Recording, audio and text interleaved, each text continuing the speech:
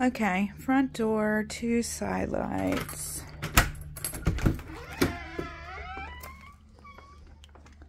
So, right when you walk in, these are, they feel like real wood floors. Living room with a fireplace open to the kitchen.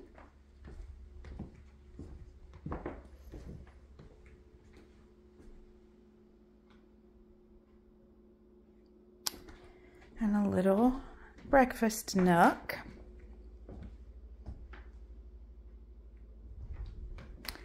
And then over here from the kitchen